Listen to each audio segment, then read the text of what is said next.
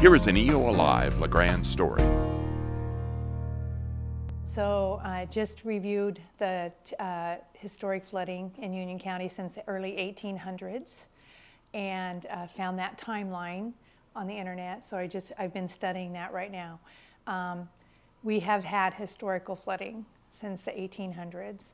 Um, the, at one point, it was 50,000 acres.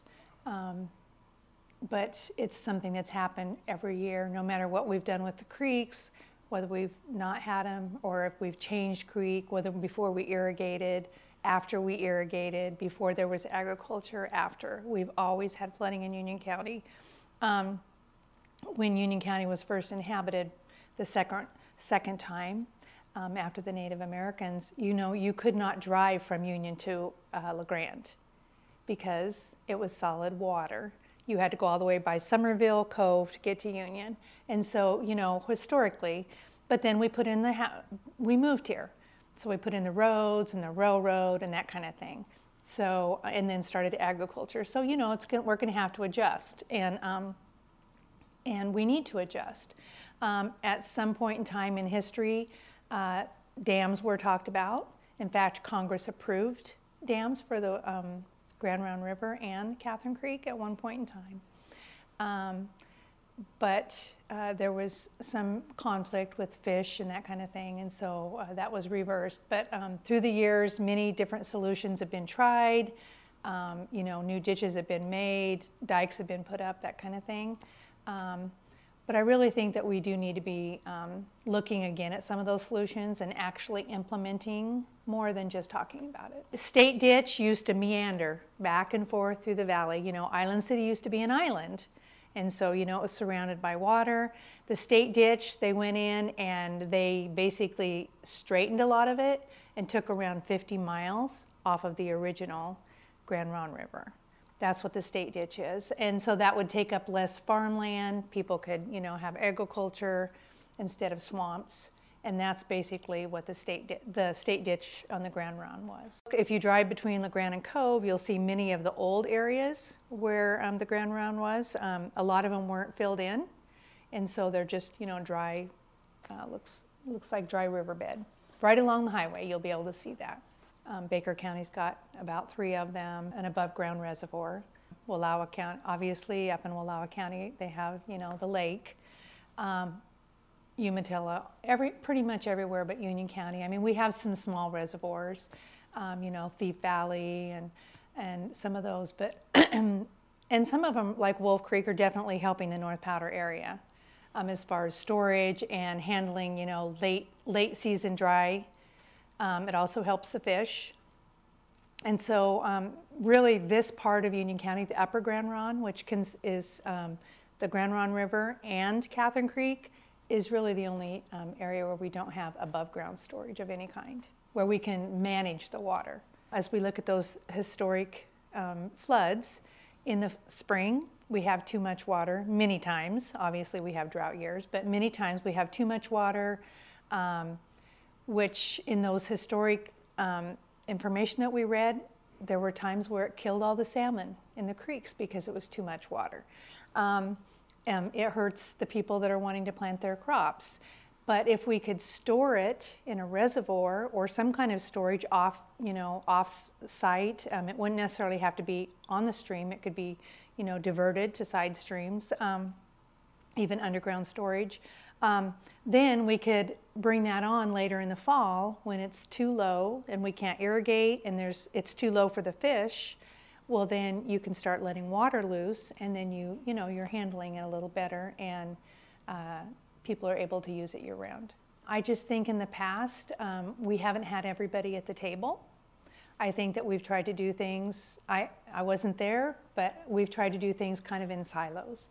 Um, so with this water, place-based water planning we're doing now, we're inviting anybody that cares about water in Union County and the Upper Grande Ronde to come to the meetings. We're talking about solutions, any solution that anybody has, any ideas, and we're trying to get everybody at the table that might be against it and let them get their word in and say why and what are their solutions to these problems or strategies so that we can find some solutions to this problem. Wallowa Lake has a dam and they're actually getting ready to hopefully make it a little higher.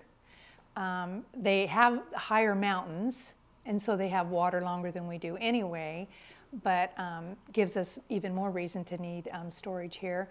Um, Baker County has about three dams that they let out for irrigation later in the year, and it also helps the fish. And one of the problems with fish is they need cooler water in most cases, and so you know, if you can keep that water level a little higher, well, then you have, you know, more fish that can come up and spawn. So it really, in my opinion, um, it helps all the different needs, including municipalities that may need may be short in the fall. We only have Wolf Creek, which is, does help the North Powder area, but we have nothing in the Upper Grande Ronde Valley area. Well, as a convener of that, when I became commissioner, this was already kind of in the process. So as a convener, I have to stay neutral. Um, but personally, um, we are farmers, and so um, we raise cattle and hay, and we irrigate. And um, so we know how important irrigation is to making a living. And, you know, I, one thing I always want to put out there is farmers are environmentalists too. We care about the environment we live off the environment, so we want to take care of it. And so um, we want to be on board with the other people that care about the environment, but we just want everyone on board so we can work out solutions that help all of us. But personally, I've lived here my whole life, five generations, um, agriculture. Um, so it's important to me, and I, and I think it's important to our economy in Union County. Historically, um, our emergency manager is telling me that we're getting them more often than we used to. They used to be maybe a 30 year. Now we're getting closer to a 10 year, every 10 years. Um, the flood we had this year was a little bit different than most. We had all that snow you know, a lot of our flooding will come from ice jams and that kind of thing. But this one was a little later in the year. We had the snow and then it all melted off at the same time. So it was a little different time of year than we normally have. Had a lot more acreage that was hurt than we normally have. Um, we do have people, you know, that say, well, we maybe we should take, you know, this dam out or not dam, but you know, uh, on the north side of the valley, but we always want to be careful because we don't want to flood Elgin. We don't want Elgin to be in six feet of water. So any decision we make, we need to look at all the situation. And the other important thing is to look at the history. Why did they change the state ditch? Why did they do this? Why did they do that? Because we don't want to go back and make mistakes and revert back to something that we wish we wouldn't have done. So we really need to check into that history to make sure that when we move forward, we're actually solving a problem and not making a problem worse. I think that we, ne- we, need to be looking at solutions and strategies to make it better. You know, we can't change Mother Nature, we can't change, you know, the weather, but we can make it less damaging than it is now by managing. There are many crops that take at least two years before you can even harvest them, sometimes three. And so, you know, you've already, the farmer's already waited two years, he's put a lot of money into that crop and then maybe it's this is going to be the year where you can finally harvest it. Now it floods, um, so there's a third year that you're not going to be able to harvest. And so um, you know it might it may not completely take that crop out, but for that year you're not able to harvest it. So now you're out three years income for that area. So the perennial crops, it, I mean, a lot of times it won't wash them out or kill them, but it's definitely going to hurt because those take a long time to become established and to bring money back and, you know, we're like the grass seed capital. And so, you know, um, just think about it. People in other countries are using grass seed from Union County. Um, so we have some really nice farmland here, and we need to be thinking about that because that's, that's a huge part of our economy, agriculture. I haven't heard estimates on how much money was lost in the spring flood, but um, estimates on the, how much property was flooded, it was in the tens of thousands. I don't know exactly how many, but there would be just there would be one farmer that maybe lost eight to ten thousand, and there were several farmers that lost a lot. And so it was it was huge to our economy and to those specific people this year, and really to all of us. Um, when I think of agriculture, um, it goes way past the farmer out there. You know, he's at he's buying tractors, he's um, buying 4-H animals, he's teaching children. You know, there's so much more to it than just that farmer. He's hiring people, he's firing, hiring college kids and high school kids to come out and work. So um, the damage this year has been uh, probably some of the biggest in maybe over 50 years. So the place-based planning group um, Oregon Water Resources gave us um, some money to put together this group and ask the local people what they care about in water. And so instead of the state making decisions for us, letting the local people sit around as a group and decide what is important to us for our water issues and our water needs. And so that's what the place based means. And um, so about two months ago, right after the flooding, um, I called our emergency manager in and we decided to ask our group to start listing solutions for this flooding. Whatever your idea is, throw it out. Nobody's going to put you down or, or say you can't do that or anything like that. Let's just throw out the different ideas. So this is from our group. There's about 40 people that come, and we would love to have more people anytime. And uh, this is, these are solutions that we talked about. Now, um, we'll worry about um, deciding which one we're going to go with later, but right now these are what we're thrown out. Reservoir research. Talk to Baker County about flooding changes after reservoirs were built. You know, find about their history. Did it help? Did creating reservoirs for flood control um, work in their basin? Um, how did it work for Burnt River? The reservoir is managed for flood control. Um, above ground reservoirs for both flood control and storage. High elevation reservoirs. Storage in old sloughs on the valley floor. Maybe some of those areas where the creek wasn't filled in. Maybe we can store some uh, water in there. Wet meadow storage. Um, storage water throughout the whole valley in multiple locations. And then the last thing we talked about was opening up Reinhardt Gap. These are suggestions that our group came up with.